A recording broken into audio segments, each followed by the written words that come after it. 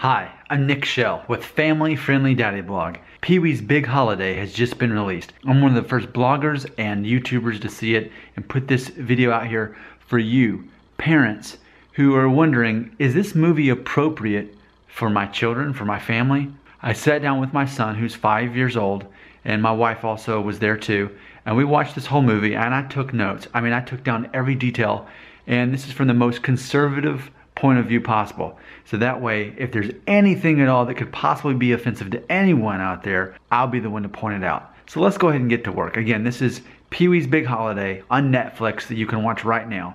It's rated TV PG. Now, I want to say this.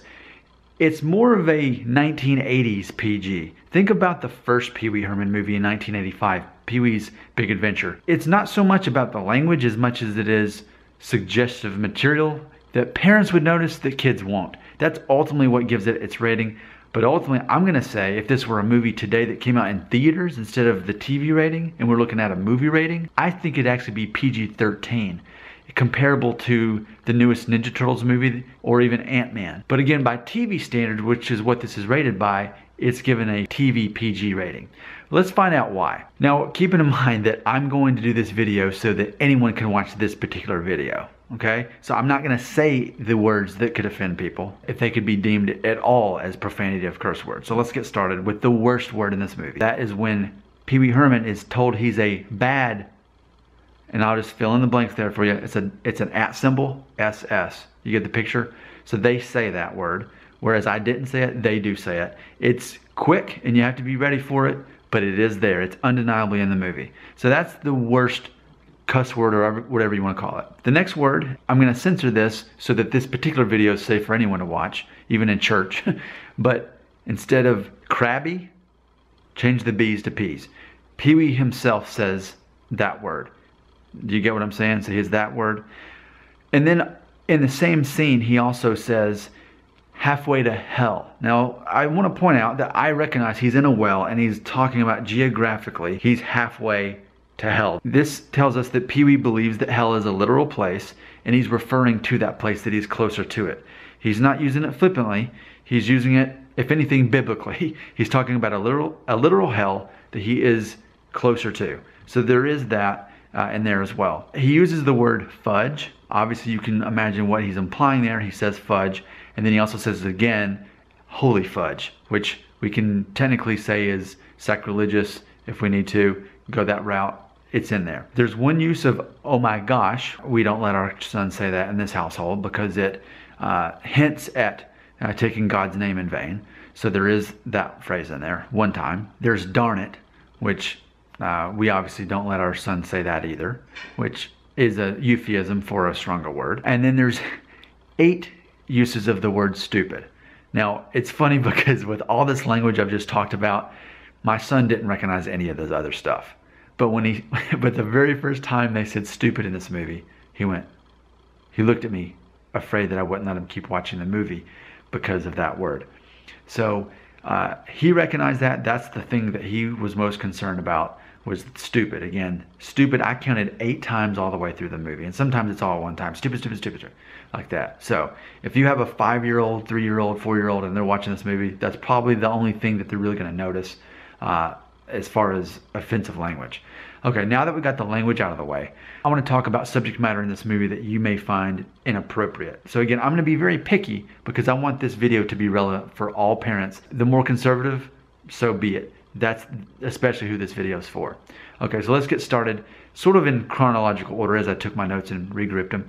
So the first suggestive material I saw in this movie was uh, there, there are these three ladies who rob a bank and Pee Wee Herman basically helps them escape, not quite realizing that they've just robbed a bank. And in this event, one of the women, who goes by Pepper, straddles Pee Wee Herman to take the, the steering wheel away from him. So she's basically hijacking the car while the car is moving, while Pee Wee's driving it, but she does straddle him. So you could deem that as suggestive. Also, shortly after that, Pepper uh, makes a statement, it gets me right here. And when she says right here, she's grabbing her breast. It's, it's very obvious when she does this. So shortly after that, uh, there's a moment where Pee Wee Herman thinks the police show up to rescue him from being in this uh, motel room with the three of them. And of course, let me point out they have knives. They have they all three have knives. He's being held against his will, strapped down, taped up to a chair. So there's that going on. And then the police walk in, and, th- and he thinks, oh, I'm being saved. They're going to rescue me now. When in reality, they're male strippers. And they instantly strip down to basically bikini briefs.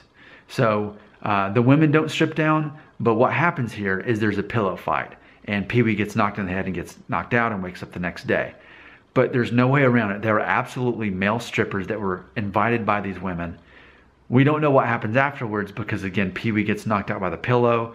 The most nudity that's shown here is the men, again, down to bikini briefs. As far as the women, they're already dressed a little scantily anyway, a little bit suggestive, a little bit pinup modelly 1950s esque.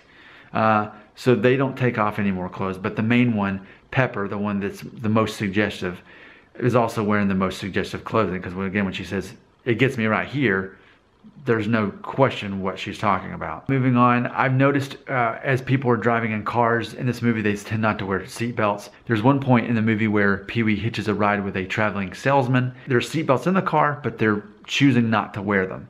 So that's actually taboo for us. And here in Tennessee, it's illegal to drive without the seatbelt on. So that's an illegal act, right? If we, if we were, I'm getting, I'm being technical, right? That's why you're watching this video.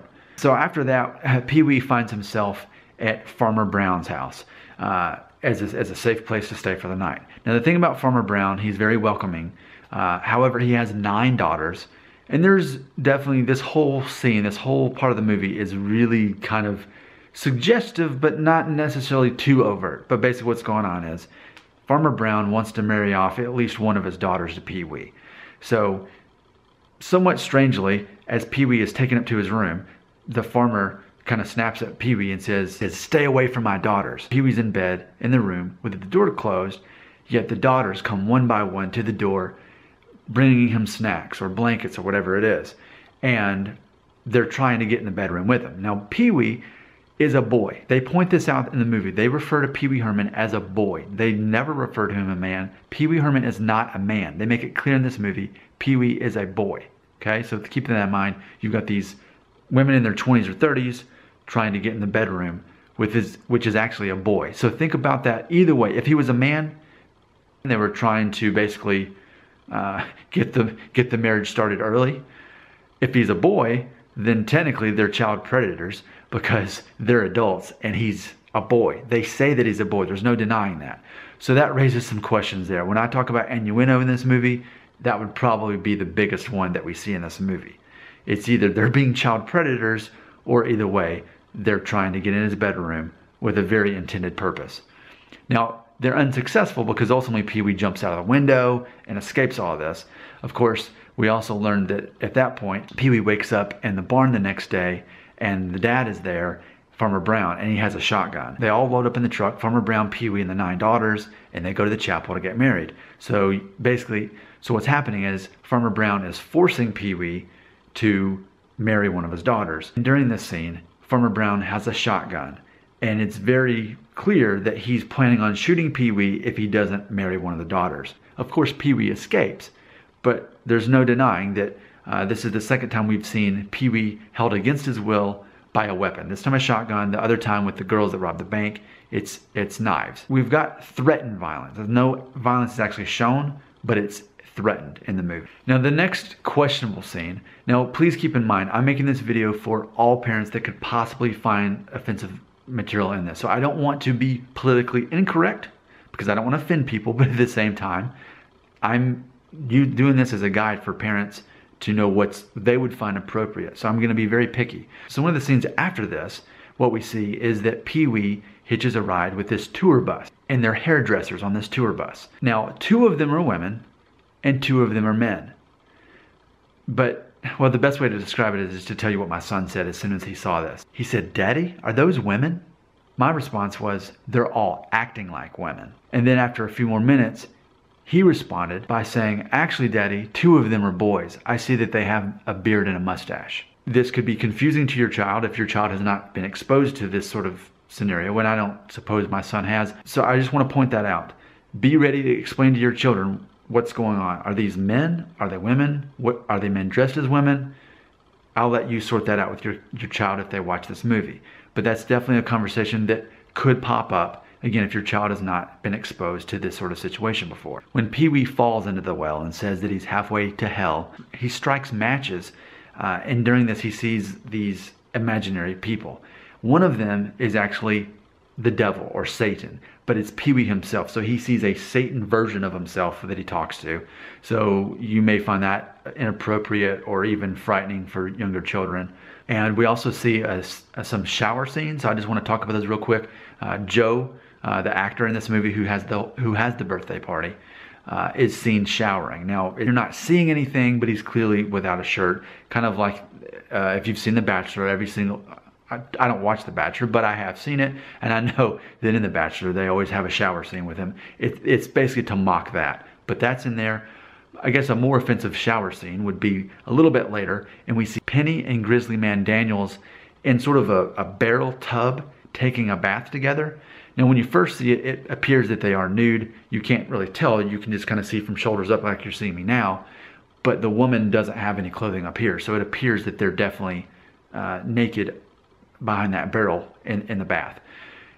A few minutes later, if you keep watching, when they cheer, you see that the woman is wearing a bathing suit. So therefore, we assume the man is too, but it's still obviously suggestive. That's the overview of anything a parent could possibly find to be offensive. Now that you've heard what's in this movie, you know what to expect. I really don't think you're going to see or hear anything in this movie and, and think, well, you forgot to cover that. I mean, I was taking good notes. So if you find something beyond what I've covered, uh, feel free to put in the comments, but I think this just about covers it. So again, Pee Wee's Big Holiday is rated TV PG. If I were to translate that into a movie rating, I would definitely give it a PG-13 rating. Is this movie appropriate for your child? Well, you've watched this video. Did you hear anything you wouldn't want your child to be exposed to? Every parent's different, and every culture and every household's different. I can't answer that question for you, but based on what you've heard me say, I'll let you make that decision. Now, if we were to turn the camera on me, which it actually is to begin with, uh, and you were to say, well, what did you think about it? How did you feel about your son watching this this movie? Well, that's a good question. How I felt about it, sure, I recognized all of the innuendos here and the language. My son didn't. My son's five. He didn't recognize anything that could possibly be inappropriate. Uh, again, he was confused by the effeminate hairdressers that were men that were acting like women and kind of looked like women. He was confused by that. But as far as me regretting him watch it, no, not at all. I mean, it's it's for me, it's no different than Pee Wee's Big Adventure in 1985 or Big Top Pee Wee in 1988. It's the same amount of offensive material. Those movies were rated PG. If they were made today, they'd be PG-13, I think. It's the same caliber. I don't think they're any more offensive than the original movies. So just keep that in mind. If you're okay with your child watching the first two movies from the 80s, I don't feel that this is any worse than those. I think it's on the exact same caliber as those movies. So I hope you found this video to be helpful. Again, this is not for me to uh, morally judge the movie or those who are in it or the writers or anything like that. I'm not, I don't want to feel like I'm, I don't want you to see me as a judgmental person. Simply critiquing a movie for other parents to know if this movie is appropriate for their family. I didn't have a problem with my son watching it. Uh, because I was there with him, and he was just mesmerized by the whole thing. It's a it's a hilarious movie. It's an adventurous movie. Now my wife, she she felt differently than I did. My wife didn't quite feel comfortable with him watching it. In fact, there's no way she she would have let him watch it if I weren't there with him. Uh, so she didn't feel comfortable with it. I did. If anything, you know, all I can all I can really give you to go on is my son is five, and as far as a a almost 35 year old dad and his five year old son it was fine by us. We've seen Ant-Man together at the theater, the Ninja Turtles movie. Another PG-13 rated movie we've seen recently is the new Star Wars movie. I guess if nothing else, you can think of it this way. Would you feel comfortable with your child watching a PG-13 rated movie? Not a hard PG-13 rated movie, but sort of a cleaner PG-13 rated movie. I don't feel that my son is ready yet to see the Jurassic World movie. While he would love it, I think it's too violent and too intense for him. I didn't feel this movie was too intense. And I think there's something to be said about the intensity of the content in a movie. This movie actually isn't violent, though weapons are shown. Uh, it is suggestive, yet nothing is really shown to make a child necessarily figure out what's going on. It's more about the parent being on edge, thinking, "Oh, is something about to happen? Is something about to happen?" I think, "Oh, never mind, it didn't happen." There's a lot of that going on. So you, as the parent, may be a little bit on edge, but if your if your child is my age, five, it's all lost on him. Now, if your child is closer to a to a, the tween years, if they're 10 or 11, they're going to start picking up on that. When the nine daughters are trying to sneak in Pee Wee's bedroom, at one point he actually says, "I'm saving myself for marriage." Now, so obviously, for a probably a 10 or 11 year old, they're going to pick up on exactly what's going on. As far as my son, he just knew that they were trying to bring him blankets and bring him food. So that's my overview of Pee Wee's Big Holiday. I'm Nick Shell. I'm with Family Friendly Daddy Blog. That's what I do. I have my own blog and I'm doing everything from a family friendly perspective. I think I'm a really good host for this. If you have any questions, I'm pretty good about commenting back. Thanks for watching my video. I hope you found this to be helpful. Again, I'm Nick Shell with Family Friendly Daddy Blog.